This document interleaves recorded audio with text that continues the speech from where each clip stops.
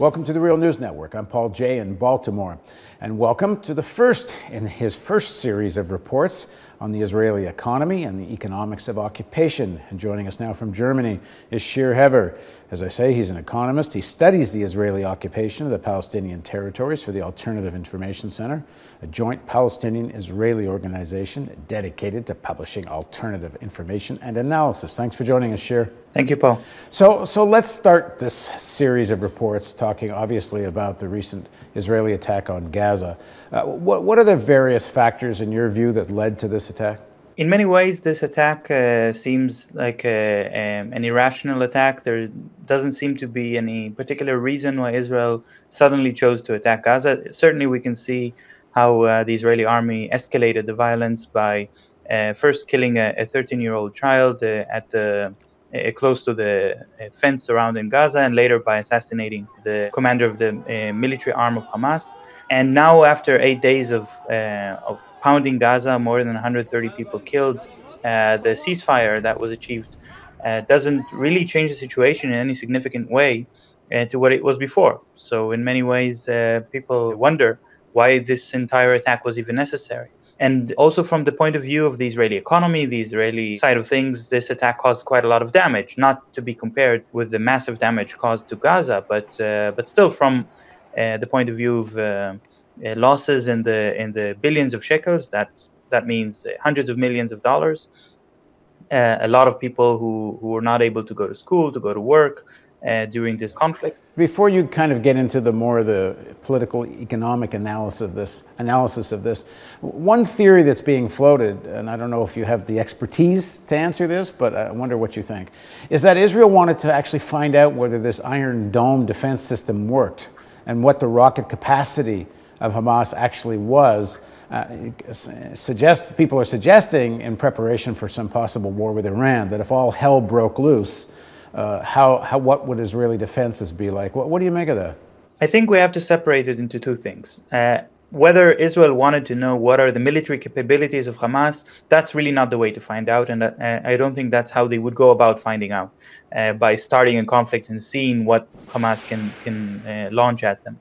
Uh, there, that's why there's intelligence, and that's uh, and for that purpose they have other means. I think testing the capabilities of Iron Dome is more important. But of course, in order to test the capabilities of this technology, they don't need Hamas. They can also use test rockets. The reason that they wanted to use Iron Dome in this context is because uh, this was not a test for the internal research and development teams of the military industries. This was a show for the rest of the world and for armies around the world what this uh, uh, unit is capable of doing. Uh, and of course, this will be translated immediately into sales. Iron Dome was developed by a company called uh, Rafael. Rafael is a uh, state-owned company, although many of its factories have already been sold uh, to private contractors, uh, to, to, to, private companies, and many of the components uh, in, in the system are actually produced by private companies. And these companies are uh, gradually becoming Israel's one of Israel's most important forms of export. and Israel is well known around the world for being country that produces uh, state of the art military uh, technology, especially in the field of, of, unmanned drones, in the field of uh, uh optical systems, and now also in the field of uh, anti rocket uh, um, units, anti rocket missiles. The Iron Dome um, was cost, cost the Israeli government a lot of money.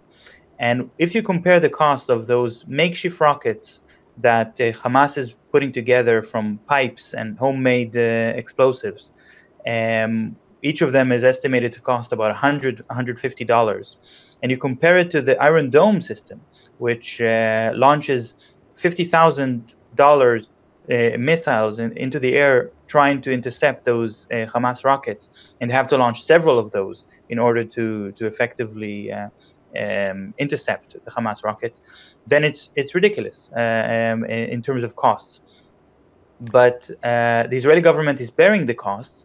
When this uh, um, system will be uh, also bought by the U.S. Army, by the uh, British Army, and by other uh, countries around the world, then the profits are not going to go into the pockets of the Israeli government, into the Israeli treasury, but it's going to go to those private companies Uh, so we can see those people who are also profiting from the attack. Um, I think these uh, uh, these companies that profit from from war, from conflict, are becoming more and more influential in Israeli politics. What are other examples of the privatization of Israeli security? I think the main uh, example we see in the checkpoints. Um, the the large checkpoints uh, surrounding the Gaza Strip and inside the West Bank have been all privatized uh, into the hands of private security companies, partially because Israel doesn't have enough soldiers to maintain those checkpoints.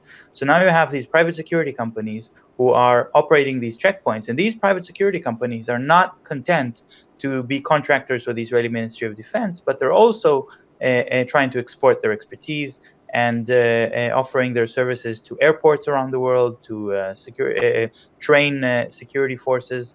Um, right now, there's there are many many contracts in Brazil in preparation for the next soccer World Cup, um, buying unmanned drones and um, expertise from from Israeli private companies.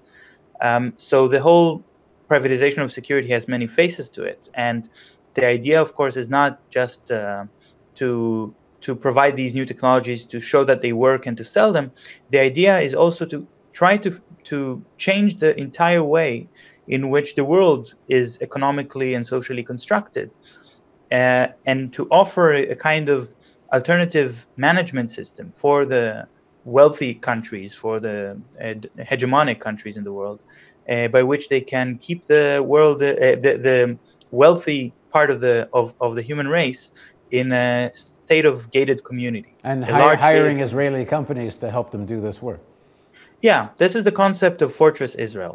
Fortress, and, and the recent attack on Gaza was an example how you uh, um, have a Fortress Israel, which means um, a country that has uh, makes absolutely no attempt to resolve it diplom- its diplomatic and political problems, makes no attempt to try to find a solution to the occupation, to end the occupation, to to achieve uh, peace with its neighbors. Uh, that that has been off the agenda of the Israeli government for years, and, and this was the this is the main motto uh, that uh, the Israeli government has been repeating uh, um, time after time. There is no partner for peace. There's no one to talk to, um, because they want to to uh, stress that there is another alternative instead of talking with your neighbors, instead of recognizing the rights and and um, achieving uh, peace, uh, you could simply maintain a sort of military superiority that will always uh, um, give you security in all situations, even during a situation of conflict. Right. Now, there was some also a lot of discussion about the domestic politics of all this. Well, what, what yeah. what's your thoughts on that? Netanyahu is um, in a very interesting and and um, unique situation in a way because, on the one hand, he does not really have any contenders that, to, that can compete with him. There is, there is no political leader in Israel who uh, is anywhere near as popular as Netanyahu and, and likely to be able to form a government. So the upcoming election seemed to be a, a sure thing for Netanyahu.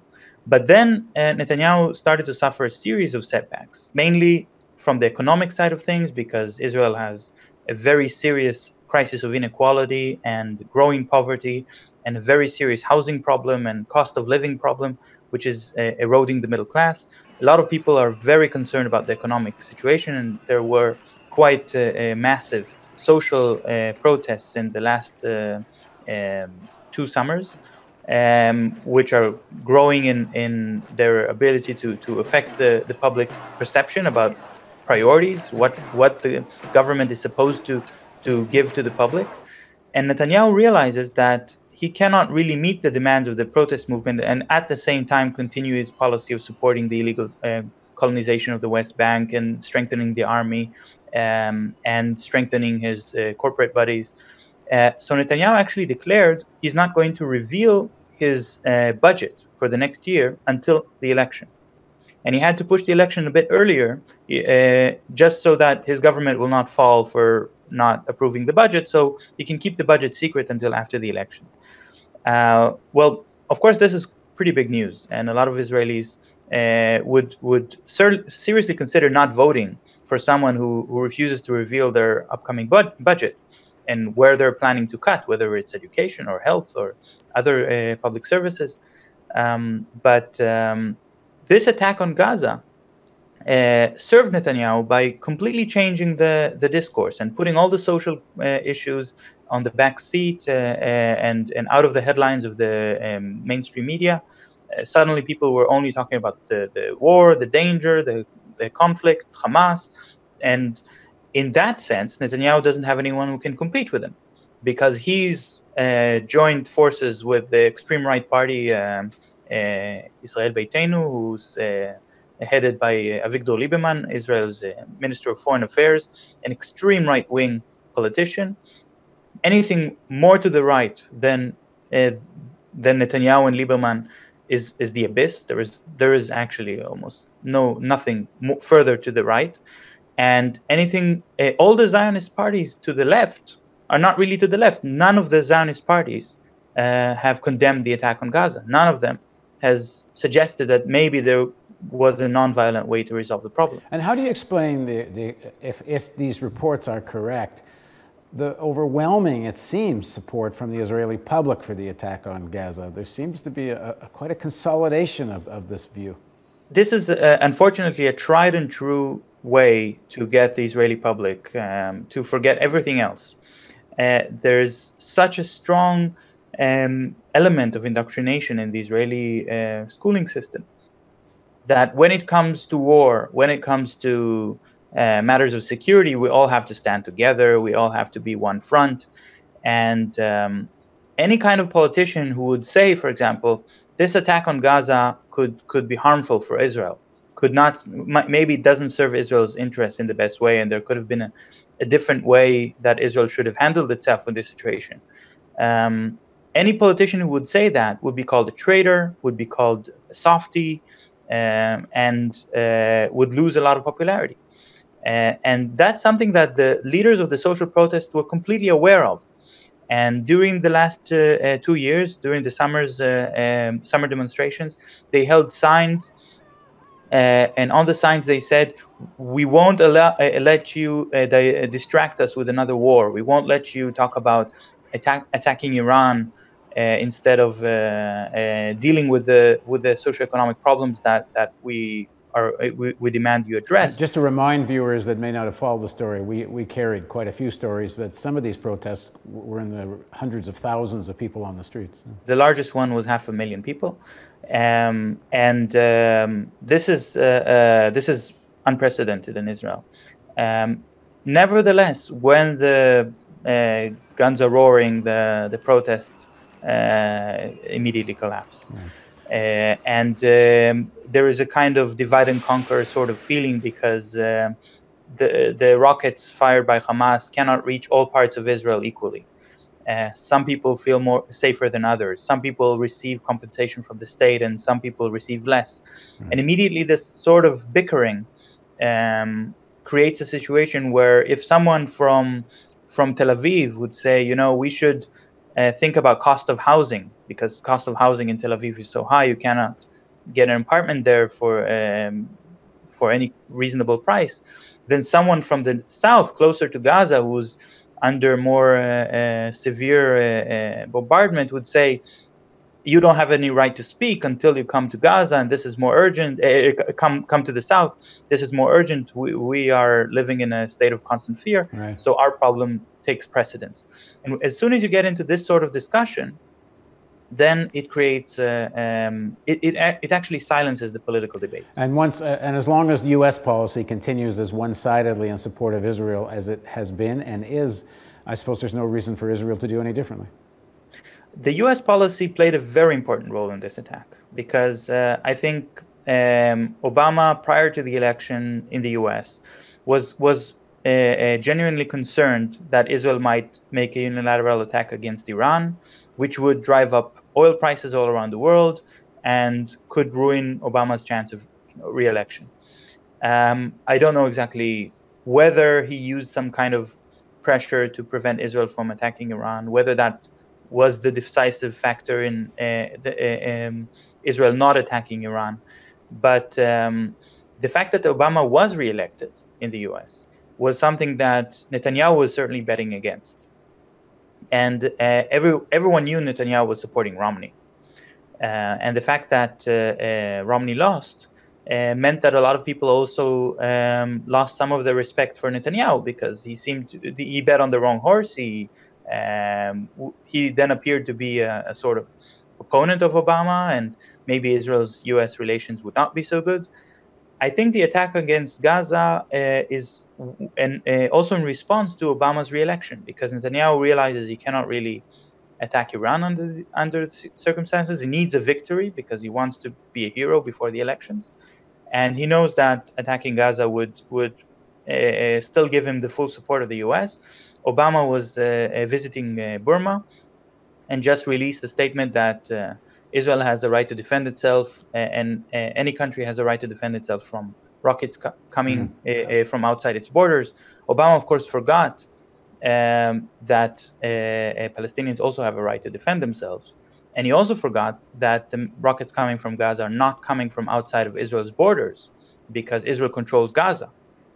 Uh, Gaza is a, a, part of the of Israel's sphere of control, uh, and in fact, um, uh, his his very empty statement um, just uh, boldens Israel to continue to to disregard international law and to disregard right. human life. Right. Thanks very much for joining us, Shir. And as I mentioned, this is the beginning of a series of reports. Shir's going to come join us every couple of weeks and update us on the situation in Israel. Thanks for joining us, Shir. Thank you very much, Paul. And thank you for joining us on the Real News Network. And if you do want to see more interviews and reports like this, don't forget we're in the middle, there's a donate button over here. That's why I'm pointing. Uh, we're in the midst of our year end fundraising campaign. Every dollar you donate will get matched until we reach $100,000. And if you want to see more real news in 2013, we need you to click on that. Thanks very much for joining us on the Real News Network.